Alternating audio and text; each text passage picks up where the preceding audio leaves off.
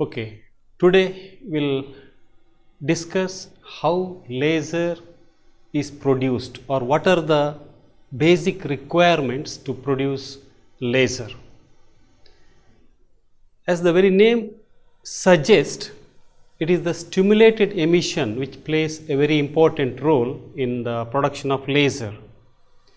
So, besides stimulated emission, what are all the other requirements to produce laser? So, the basic uh, process involved are population inversion, pumping, metastable state and amplification and uh, reflectors and resonator uh, cavity. Stimulated emission is the method by which we can produce identical photons.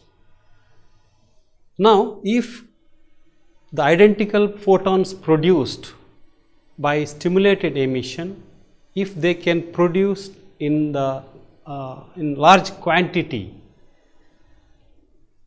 you will serve the purpose of production of laser. But for that, to have a continuous production of uh, photons by stimulated emission, we require population inversion. This is one of the basic and foremost requirements for the production of laser. See, usually uh, in materials or in matter, atoms or molecules exist in large numbers. We are very familiar with that. Out of these atoms or molecules, majority of the atoms or molecules will be in the ground state, whereas a few atoms will be in the higher energy state.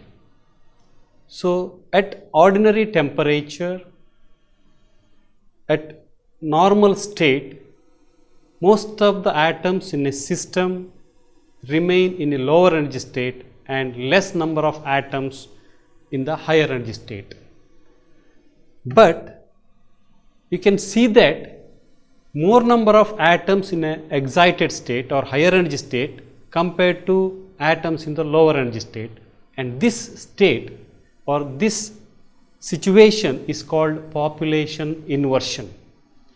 For the production of laser, this is one of the most important requirements. If you call or denote the number of atoms in the uh, higher energy state as N2, number of atoms in the lower energy state as N1, the condition for population inversion is N2 is greater than N1 and this is called population inversion. See the diagram number of atoms in the E2 state less and E1 state is more. So, this is how uh, population inversion can be represented. So, necessary condition for population inversion is N2 is greater than N1. And another important requirement for the production of laser is the metastable state.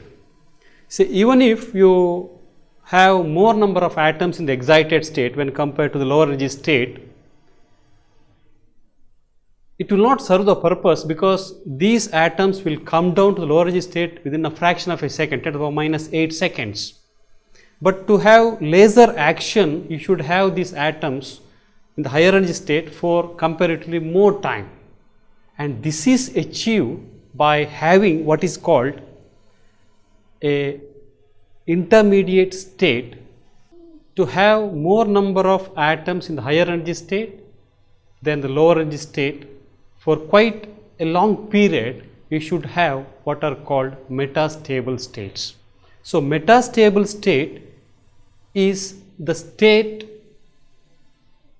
wherein the atoms remain much longer time when compared to the uh, duration of the atoms in the excited state. Here the atoms remain nearly 10 to the power 5 times more when compared to the excited state. In excited state atoms remain for 10 to the power minus 8 seconds and in metastable state they remain for 10 to the power minus 3 seconds. So, what happens is if an atom goes to higher energy state, then comes to the metastable state and there is every possibility of a population inversion between the metastable state and the lower energy state. So, metastable state is another requirement for the production of laser. Now, another important requirement is pumping. We have to see that more atoms remain in the excited state or in the metastable state. So, the process of shifting the atoms from the lower energy state to the higher energy state is called pumping. And this pumping is done or achieved by different techniques. The techniques used are optical pumping, electrical pumping, chemical pumping and electron beam pumping. In optical pumping, optical energy or light energy is used to shift the atoms from lower energy state to higher energy state. The energy is supplied in the form of light in optical pumping. In electrical pumping, it is the electric field or the potential which is used to shift the electrons from the lower energy state to the higher energy state. So, by using electrical energy also you can shift electrons from lower energy to higher energy state and it is called electrical pumping. By chemical uh, energy also you can do it and similarly by making use of electron beam you can do it. So, these are the techniques used to shift the atoms uh, from lower energy state to higher energy state in uh, the production of laser. So, this is a schematic diagram of a laser tube. Uh, the basic components are a source for uh, pumping, then two reflectors, an active medium and semi-silvered and fully silvered uh, mirror. These are the requirements for a laser tube. This is a simple uh, laboratory uh, source of laser. Uh, this is the lasing uh, action diagram. This is how the atoms are shifted to higher energy state or excited state from the lower energy state and from there they jump or come down to metastable state by spontaneous energy emission or what is called a non-radiative uh, energy transfer. Then from metastable state to ground state there will be a stimulated emission wherein we will get a laser uh, beam. Thank you.